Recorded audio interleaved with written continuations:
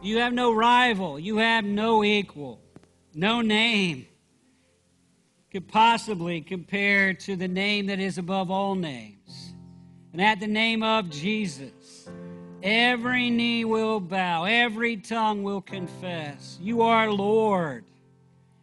God, we pray in the name of Jesus that you would just release everything of the Spirit of God that you want us to experience today, God. Teach us, convict us,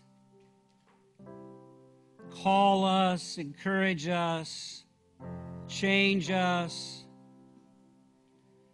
God, and everything that the enemy wants to use to hinder your work, we say no to in the name of Jesus Christ. We just declare this an open place for the Spirit of God to move and to speak. In this great name of Jesus, we pray. Amen. Please be seated if you would. About 10 years ago, I was in Uganda riding around with my son Luke. We were on a mission trip ministering to uh, orphans, AIDS uh, patients. I was doing some training with pastors. We're riding through the back country of Uganda and in the back of a Jeep. And our driver was a brand new Christian. He owned one CD and he played it over and over and over and over and over again. And he had just become a Christian, so there's one song on that CD that had a Christian message, and that was from that great theologian Shaggy, who uh, had this song Repent, repent, repent, because we're two steps away from a great disaster. They think they're the boss, but who are the master? Life set a pace, everything much faster, need to slow down and pray. Forgive them. Repent, repent, repent, repent. Until I don't have too many Shaggy fans here. Uh, but on the plane ride home, I just kept hearing that song in my head Repent, repent, repent, repent. And I'm thinking, what do I need to repent of? I just flew halfway across the world to take the gospel to the hurting and the needy. I said, God, is there anything I need to repent of? And the Holy Spirit began to point things out in my life that were less than godly.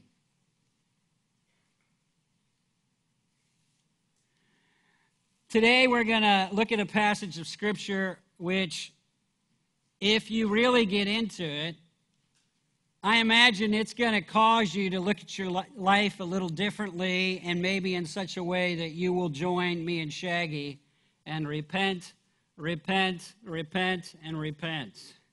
Turn to Isaiah chapter 6. Isaiah chapter 6. We're talking about knowing God, and uh, today we're going to talk about knowing God on a whole different, deeper level. Not just to know about God, but to experience God at a level that is life changing. And I just want to say to you don't be a person that just goes to church and goes through the motions. Be a person that experiences the living God. He's awesome. And experience Him in such a way so that it wrecks your life, it changes you. It changes you from the inside out. It, it sets you on fire. Say, on fire. On fire. On fire for Him. So, Isaiah chapter 6, you got a young man.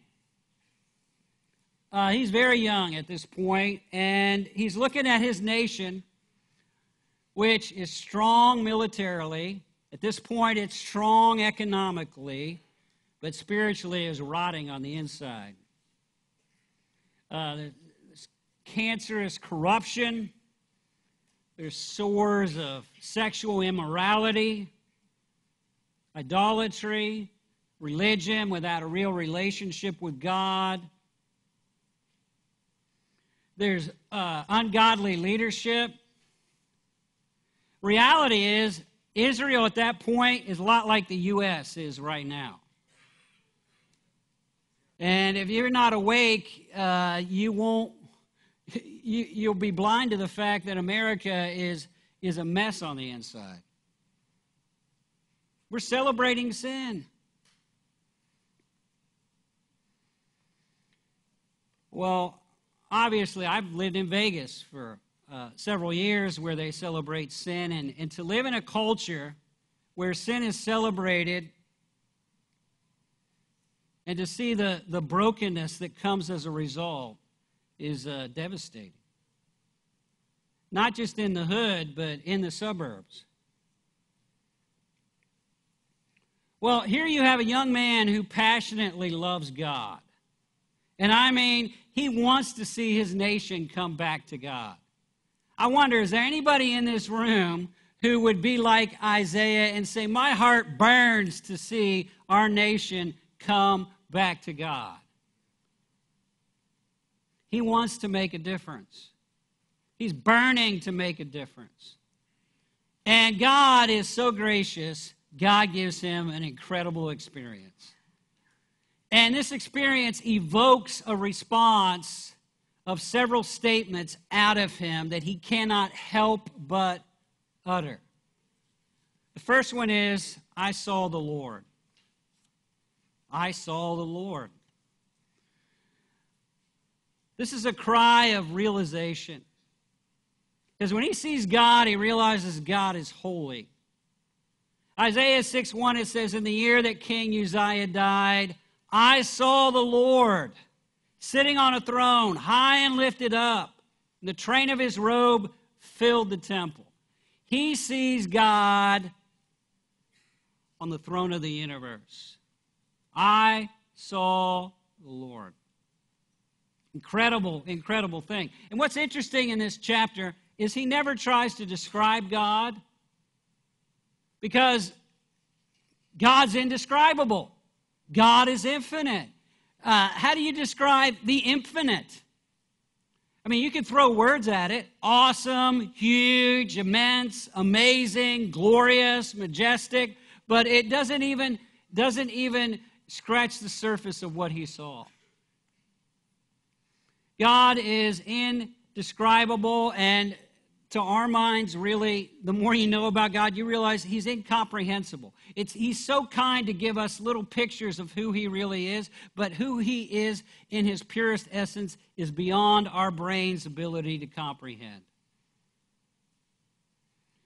We can only guess at what He saw. We know from other passages of Scripture that, that He's looking into the, the, the, the face of holiness He's seeing lights of, of, of love and purity. There's, there's rivers of, of wisdom rolling past him and life. There's oceans of love flowing over top of him. There's torrents of truth swirling around him. He's seeing a good shepherd. He's seeing a great physician. He's seeing a heavenly father. He's seeing the King of Kings. He's seeing all of that and much, much more. And it says he's seated on a throne. This throne, you know, you've seen the thing in, in Washington with Lincoln on that giant, uh, sitting on that giant chair, big white throne. Well, imagine this would be like a billion times bigger if God chose to reveal himself that way. Immense, huge. And we know from other writers of Scripture that, that this throne is coming off of it. It's, it's wrapped in jewels, and there's, there's rainbows of color, uh, vibrant color exploding all around. There's glorious light. It's overwhelming. And then he says, even he describes, he, he's trying to describe something that, that, that he can comprehend. He says, the train of his robe filled the temple. Imagine this lush, glorious robe of the King of Kings, the, the, the, rich colors of purple and, and red and gold, and it would be amazing. He says, I saw the Lord. If that's not enough, he says in verse 2 above it, the throne, seraphim. Each with six wings, two he covered his face, two he covered his feet, two he flew. Seraphim. Now, that's a Hebrew word. They didn't even try to translate it. That's just the Hebrew word. The I am is plural. The seraph means burning, so it means burning ones. These are super special angels who are literally burning all the time. They're asbestos. They never burn up, they just burn all the time. They're, they're blazing all the time. Why are they blazing all the time? Hebrews tells us that our God is a consuming fire. A consuming fire. We don't like to picture God that way. That's not the, the side of God we want to deal with, but that is what is. God is, is, is a burning, consuming fire. And if we don't get the picture of that, he goes into it in verse 3. He says, And one cried out to another, to another, back and forth, Holy, holy, holy is the Lord of hosts. The whole earth is filled with his glory. Holy, holy, holy is the Lord of hosts. The whole earth is filled with his glory. These angels are flying above the throne of God, burning and perpetually saying to one another, Holy, holy, holy, holy, holy, holy, holy, holy, holy. I can't wait to see that. I'm not, I can't even imagine what that's like. They, they're flying perpetually. They're continuously in the presence of God. They're worshiping unceasingly, and they're making a declaration that you get the idea they cannot help but say. They're in the presence of this amazing, amazing being, and the words just have to come out holy, holy, holy, holy, holy, holy. I imagine they're saying it in, in all sorts of languages and in different uh, uh, chanting tones, and, and it, it's going to be phenomenal. Think about this moment by moment, hour by hour, day after day, week after week, year after year, decade after decade, century after century, millennial after millennia, these angels have been crying out, Holy, holy, holy is the Lord of hosts. The whole earth is filled with his glory. That's amazing. And they'll be doing that forever because he deserves his very essence deserves that, demands that, draws that out of us. The word holy, um, we don't use the term much really, but it means separation. And the idea is twofold. One, that God is so beyond anything we can imagine, there's a separation between who He is and everything else. And then the other essence of that word is there's a separation from sin. God is, is holy and separate from all sin. In fact, God has never, the only time sin and God ever met was on the cross 2,000 years ago. When Jesus Christ, the Son of God,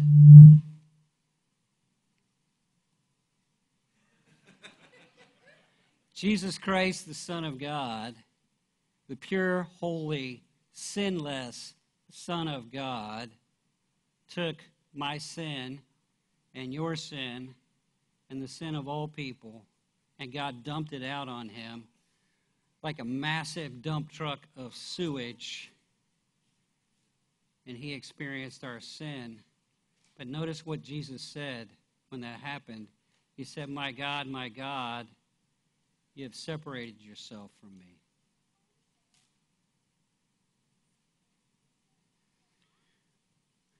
We need to not take lightly the amazing holiness of God. If you're going to know God, you got to know the whole package. And the, the, the, a core aspect of the package is that God is holy. Interesting, if we were to survey evangelical Christians in America, and this has been done, what's the greatest number one attribute of God? The answer would be love. Everyone would say love. God is love. Jesus loves me. Thank God for that. But those that are closest to him don't cry out, love, love, love. They cry out, holy, holy, holy.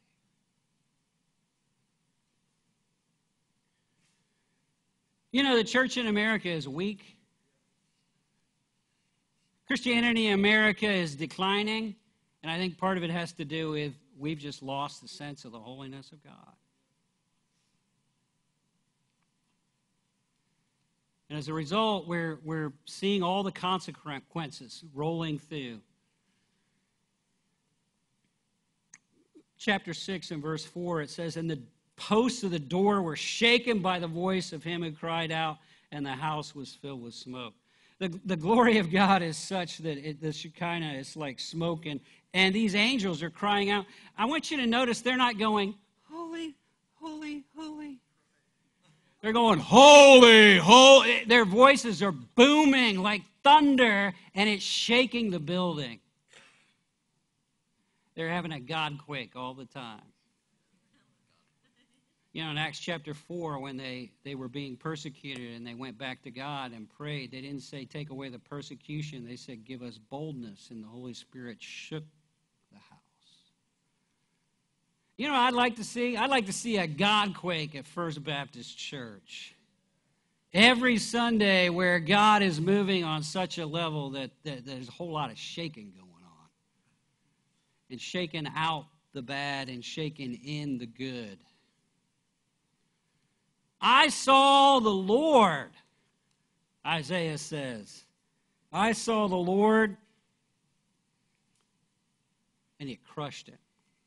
Look at the next thing he says. Number two Woe is me. Woe is me. It's a cry of confession. I have sinned, he says. Verse 5 And he said, Woe is me. I, I am lost. I'm a man of unclean lips. I dwell in the midst of a people of unclean lips, for my eyes have seen the King, the Lord of hosts. I've heard people talk about, well, when I see God, I'm going to ask him this, this, this, and this. I've heard comedians make jokes about what they're going to say to God. I don't think so.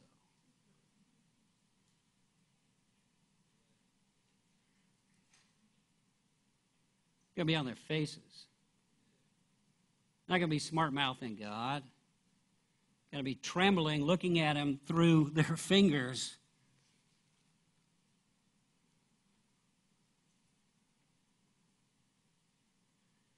You say, Dave, I don't like that picture. We use the word awesome all the time. It doesn't mean anything much anymore. I mean, hamburger's awesome, right? The word used to mean something. It means full of awe, something that draws awe.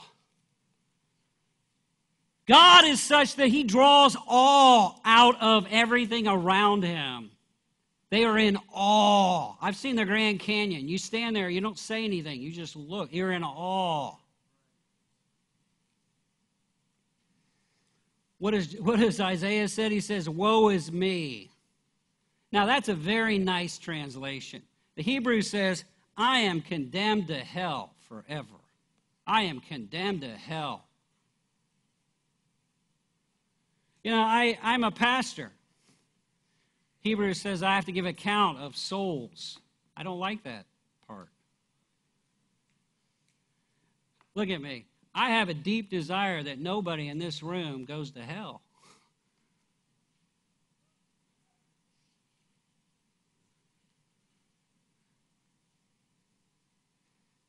You can't, you can't add Jesus to your sin and think that that's going to work before a holy God. You can't do your thing and get to receive his thing.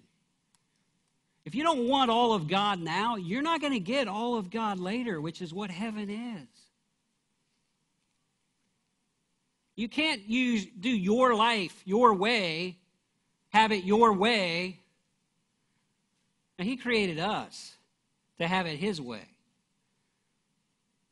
I'm damned, condemned, guilty. Literally, what it says. And then he says, I am lost. That's kind of weak, too. Some of your Bibles say, I am ruined. The word means literally, I am melting. The old uh, Wizard of Oz movie where the witch gets the water thrown on her and she goes, I'm melting, I'm melting. This, this word means I'm melting. I am melting. The presence of God is so intense. The holiness of God is so literal, so real, that I am just melting like a puddle in His presence. Have you ever had an experience with God that puts you on your face? In Vegas, we used to do a five day burn. We called it a burn. We'd start in the morning, go to noon, worship and pray, worship and pray. Go into the afternoon, do a few hours at night. Usually by Thursday, Wednesday, uh, no, about Tuesday or Wednesday, there would be a day when God would put everybody in the room on their face. Try to take pictures of it, it doesn't look right. To see people just plastered on the floor because you, you're just on your face before the King of Kings.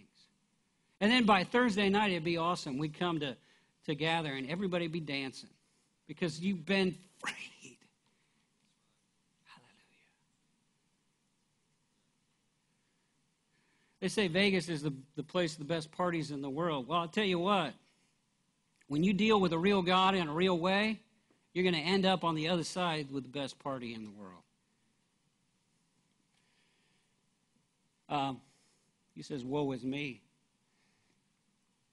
Several years ago, I went on a spiritual retreat, and I spent a couple days in a hotel with God. And uh, the first day was filled with praise and thanksgiving. And the morning of the next day, I said, Okay, God, I'm feeling pretty good about myself. I'm spending three days with God all alone. How about that? I said, Okay, God, is there anything I need to confess? Boom. I just start writing down things. Wrote down about 10 things right away, and I'm like, okay, okay. Holy Spirit, you got anything else? Ended up with 40 some things on my list.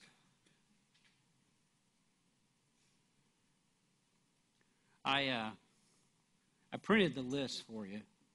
And what I want you to understand is this. Hey, you ever, you ever uh, drive your car and it's a sunny day and you realize your windshield is filthy? You know what I'm talking about? Because the sun, the light, exposes every bit of darkness. Listen to me. When you're close to God, you don't want any little sins in your life. When you're not close to God, you're tolerating all sorts of junk and view it as acceptable. It's normal. Okay, the sinful life is not the normal Christian life.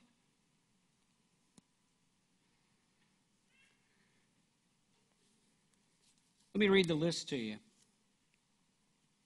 Addiction, anger, anxiety, apathy, arrogance, bad mouthing others, bitterness, cheating, complacency, complaining despair, discouragement, dishonesty, dishonoring others, doubt, envy, exaggeration, fault finding, fear, fighting, gluttony,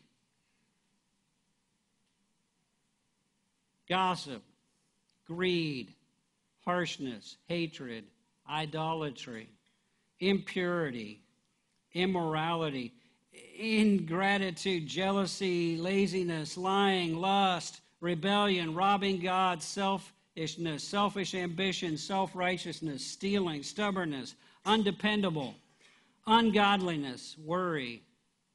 When we accept these things as the normal Christian life, we're missing it. Woe is me, he said. I'm a man of unclean lips. I, I live in the midst of a people of unclean lips. And then God's gracious, verse 6. Then one of the seraphim flew to me, having his hand a burning coal he had taken with tongs from the altar. He touched my mouth and said, Behold, this has touched your lips. Your guilt is taken away, your sin is atoned for.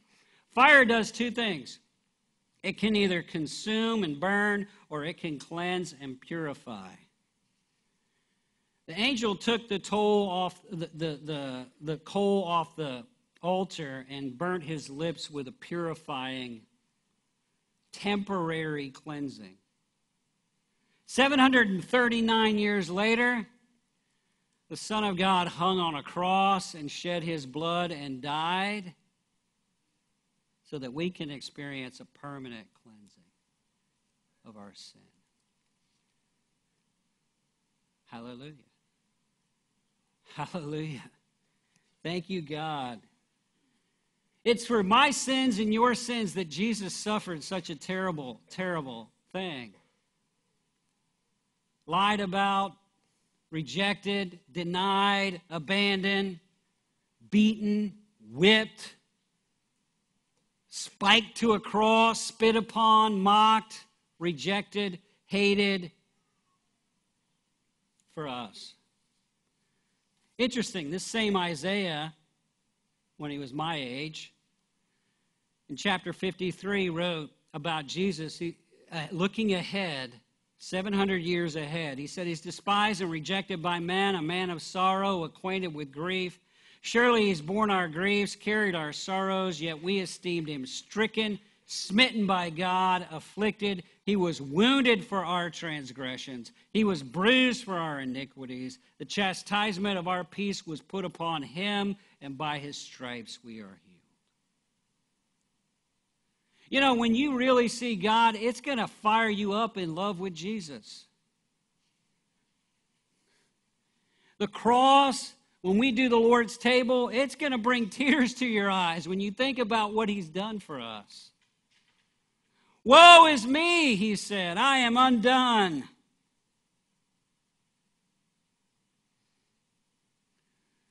If you're not a follower of Jesus, I, I, I just beg you, run to Jesus. Be cleansed, be forgiven. Let your sins be paid for through his death and his blood for you. If you are a follower of Jesus, I beg you, run to Jesus. Be cleansed. Be forgiven. Be changed. Repent. Repent. Repent. Repent. Repent means a serious change of mind that leads to a total change in direction. Have you experienced that? Well, there's a third statement. He said, Here am I, send me. This is a cry of availability. Send me, he says. I heard the voice of the Lord saying, Who will I send and who will go for us? And then I said, Here am I, send me.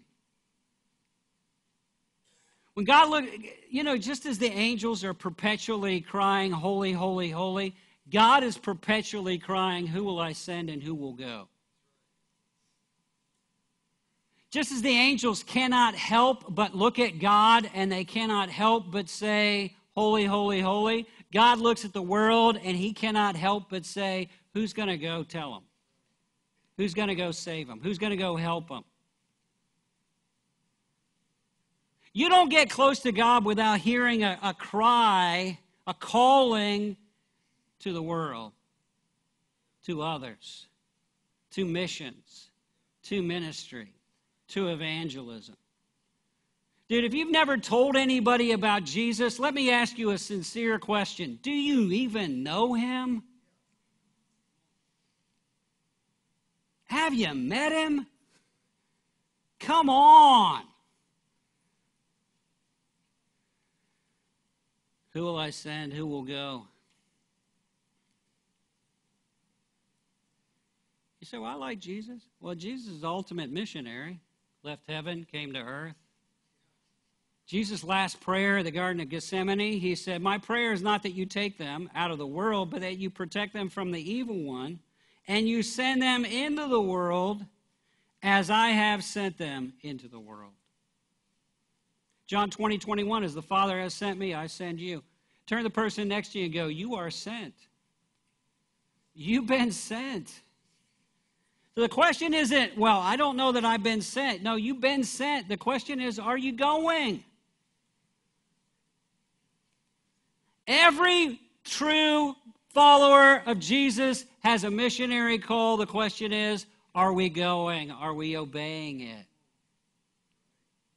God calls some people across the oceans. God calls all of us across the street. You've been sent. Who will I send? Who will go for us? And Isaiah said, Here am I.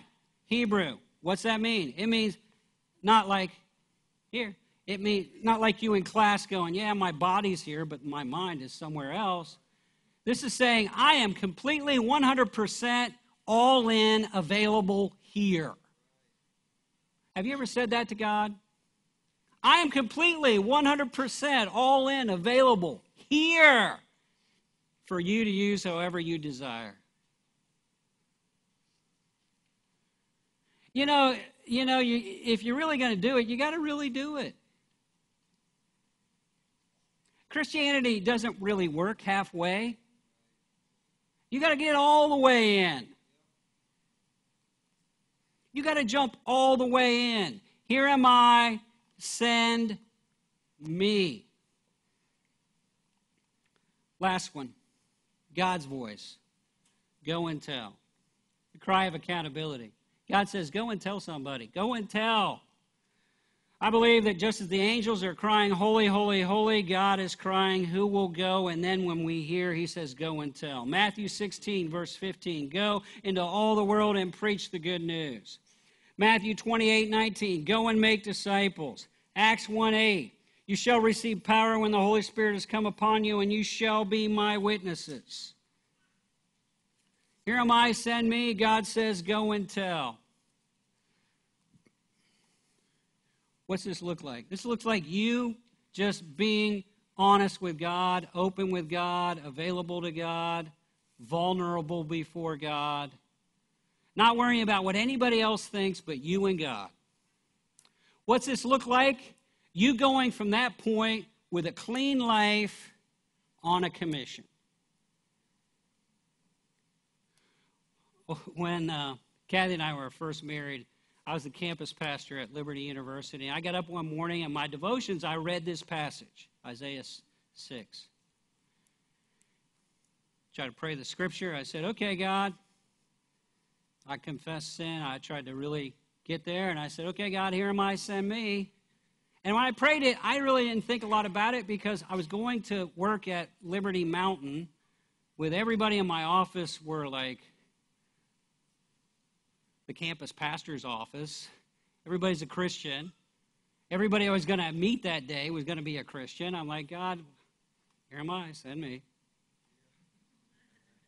I forgot all about it. You ever pray a prayer and forget about it? But God did not forget about it? Starting about 10 o'clock in the morning, I get this repeating thought in my head go to the mall, get a haircut. Go to the mall, get a haircut. Now, you got to realize being the campus pastor was not a well paying job at that time. And we were saving money to go plant a church. I'm like, I don't want to go to the mall and get a haircut. It's expensive there. And I can pay some student a couple bucks, and who cares? Go to the mall, get a haircut. I don't want to go to the mall and get a haircut. People don't like Christians in that mall. And uh, I don't want to have to have that conversation with somebody that doesn't like God. Go to the mall, get a haircut. Go to the mall, get a haircut. Finally, I'm a little slow. It's like, I think God wants me to go to the mall and get a haircut. So I go to the mall. I walk in, and you gotta realize this was years ago. There's only one chair open in the mall salon, and the chick behind it has got to be the wildest looking woman I'd ever seen in my life. This was years ago, and she had tats and metal and and things I didn't even know you could do to yourself. And her hair was, was like Medusa, dressed all in black. I'm thinking, this is not going to go well. She's going to ask me my name, and she's going to ask me where I work. What's your name? My name is Dave. Where do you work? What do you do? I'm the campus pastor of Liberty University. She goes, Oh my God. I hear that behind me. I'm thinking, She's armed. I'm unarmed. oh my God. This is not going to go well for me. And then I hear this behind me. I turn around, and man, she's cutting loose. I'm like, ma'am, what's wrong? Listen very carefully. That's what she said. She said, I got up this morning and I told God, if He didn't send a Christian to talk to me today, I was going to kill myself tonight.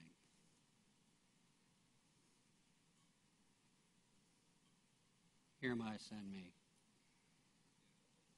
Remember her and her? Come to our group. There's people hurting all around. But I'll tell you, when you when you got sin in your life, it shuts your mouth. Shut your mouth. Closes your eyes. Turns you in. And you're missing it. Look, God loves you today. God's not against you, He's for you. And His arms are open. he wants you to come to Him. Bring your stuff. Get clean. Get clean. Get refreshed. Jump into that cool, refreshing grace and mercy.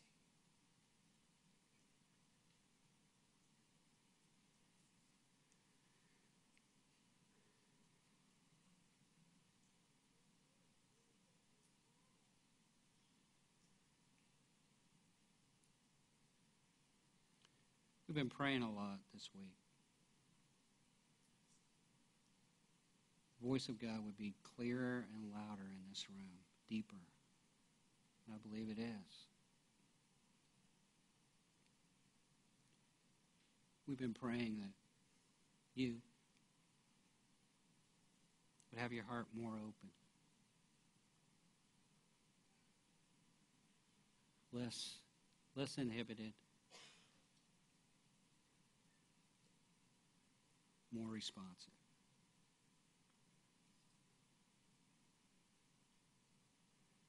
We're going to bow our heads and just in this silence right here, God's talking.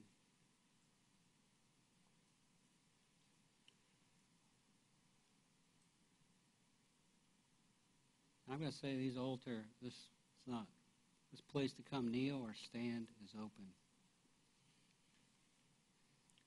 And I'm going to invite you. Just come and do, do business with God.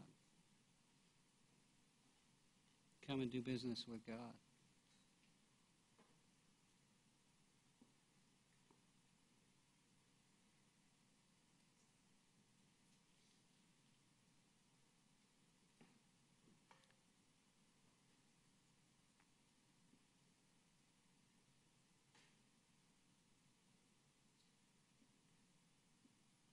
You need to come and say, Woe is me. Maybe you need to come and say, Here I am, send me.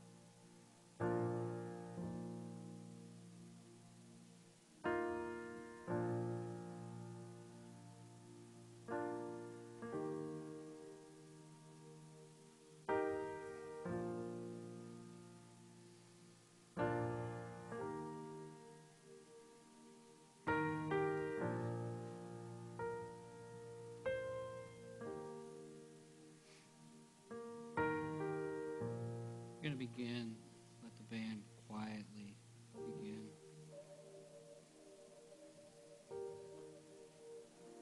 The invitation is open to you. Whatever that looks like, you respond to God.